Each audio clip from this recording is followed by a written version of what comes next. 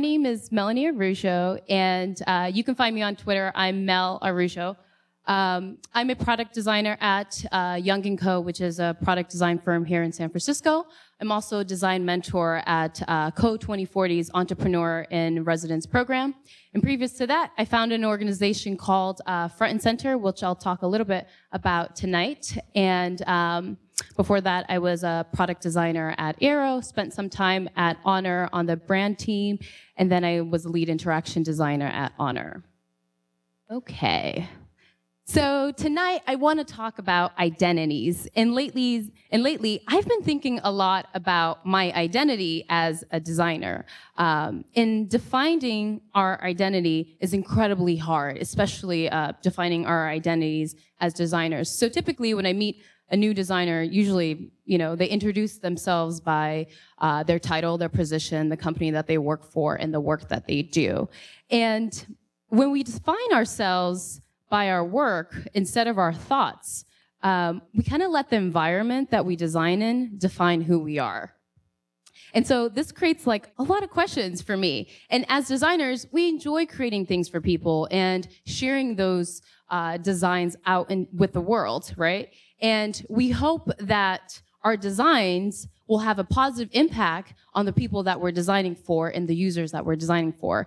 And, um, and we hope that they have good contribution, they make good contribution to society. However, how do we really know what's best? Um, you know, sure, we can do user interviews to understand the context for which our solutions would live within, and we can also do usability studies to see how well our solutions work. But how well do we really understand the day-to-day experience of the users and the people that we're designing for? And so design processes are cultural. And what I mean by that is through my work with Front and Center, um, I've encountered a lot of different design cultures and company cultures.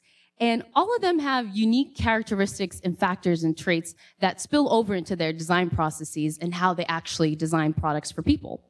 And this makes it, this makes it my job of helping people break into tech through design, people of color, we're talking about here, incredibly hard because when we ask someone what makes someone a good designer, it's totally subjective and it's totally dependent on the company culture and what that what the design team and the company values there. And most designers if you know if they value making a shit ton of money awesome versus someone who is embarking on a journey to change the world through design. So you can imagine the their answers would be different there.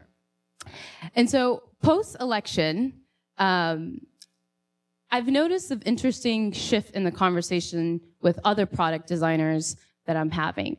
Um, there's a shift, there's been a shift from, we know, we're not talking so much about the tools or what's, you know, what's the best prototyping tool? Should I use Marvel or a Marvel or a Framer? Instead, I see the conversation moving towards the foundations of being a good designer.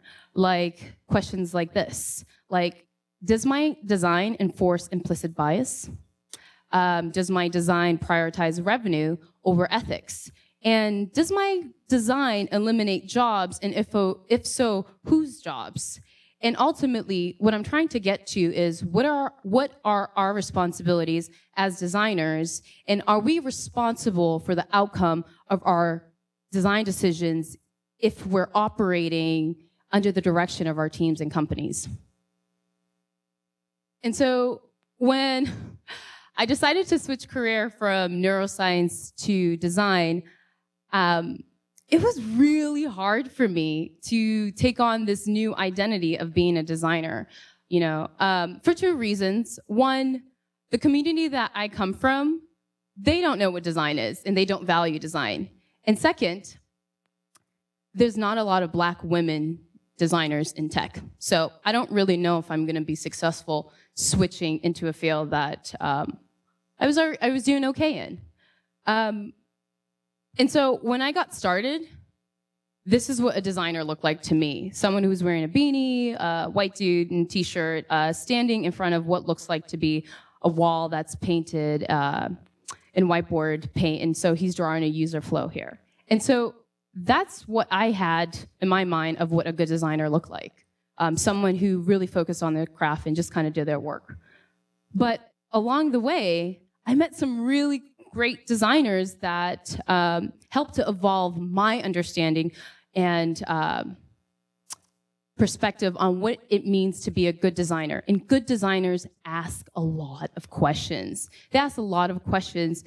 However, the ability to ask, to question the world around you is a privilege that um, some people have and others don't have. And when I apply this to my own life, I grew up in a community uh, where questioning my teachers, uh, my parents, even uh, authoritative figures on the streets, it was kind of seen as talking back or um, disrespectful and rude. So I was very timid in terms of asking questions. And so here I am as a young designer a couple years ago, uh, kind of suffering an identity crisis. And I'm like, okay, crap, I'm assuming this new identity, but now I have to also learn this new way of operating, which was completely contrast from how I grew up in a culture where you just didn't question, question things. You just did what you told, and that's what it was. But here in Silicon Valley, it's one of the traits that we value the most in designers. So asking question is super important to becoming a great designer. And I have to learn certain behaviors to be successful in this field. And that has led me to believe that in order to get more people of color in tech, uh, specifically women of color uh, in tech in, and in the design field, we have to create spaces where it's okay to ask questions that it's super obvious, but it's something that um, we just don't think about. We just assume that everyone is comfortable asking questions. And when we don't look at, um, you know, and, and, and try to understand the culture in which our peers come from, we make stupid design decisions.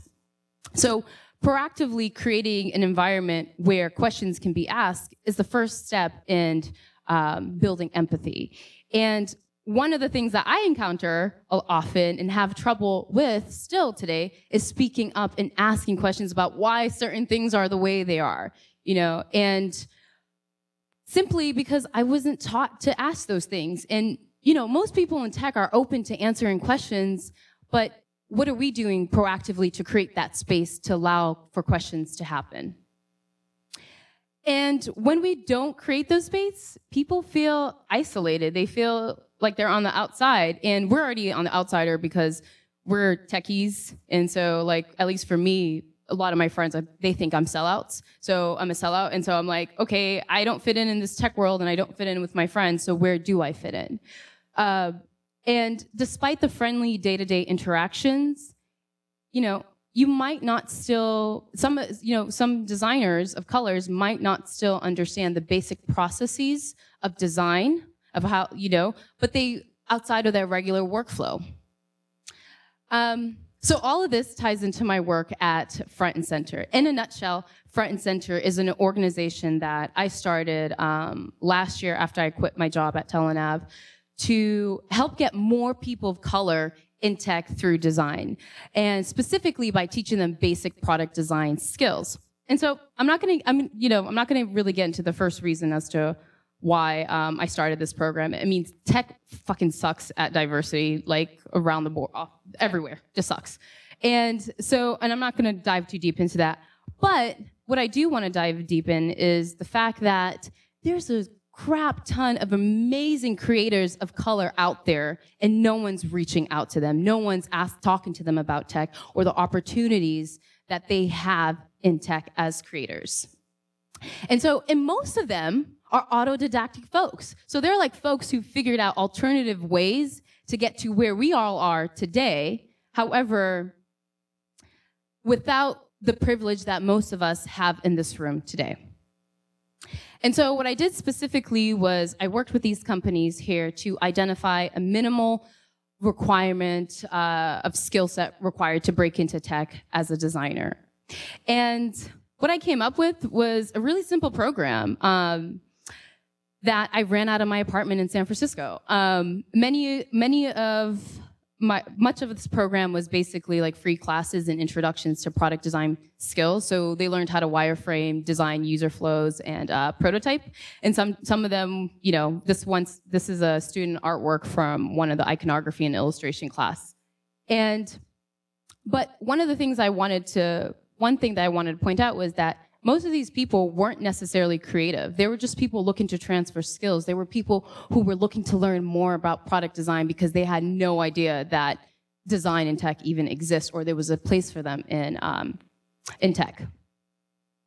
The truth is, as much as I learned, as much as they learned from me, I also learned a crap ton from them. You know, uh, this is something that we often underestimate uh, and tonight we've heard this theme quite a bit, but we've underestimated our power to transfer knowledge and transferring knowledge in a way that it becomes a change agent, an agent of change.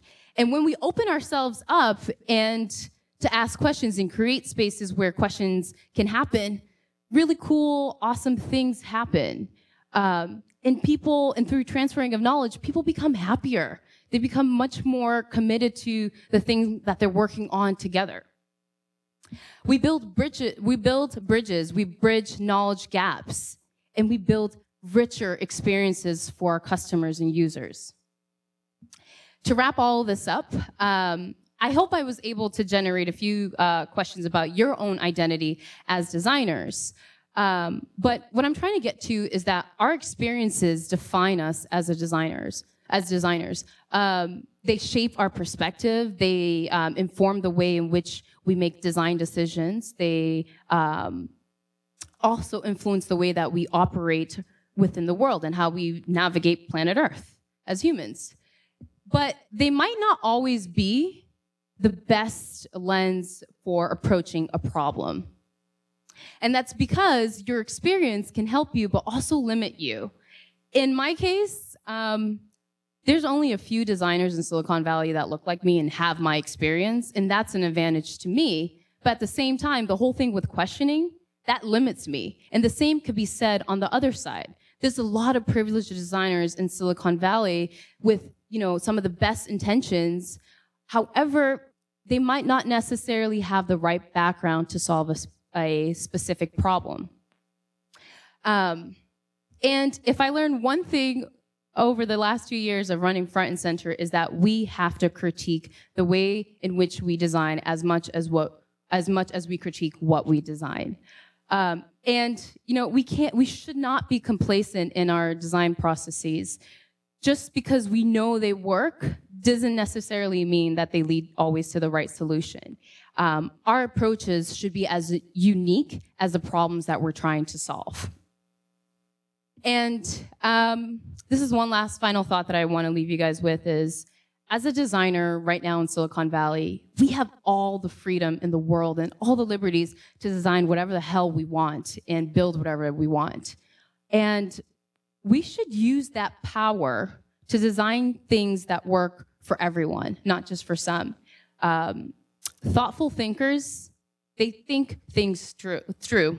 So um, with that, I want to thank you guys for having me and have a great holiday.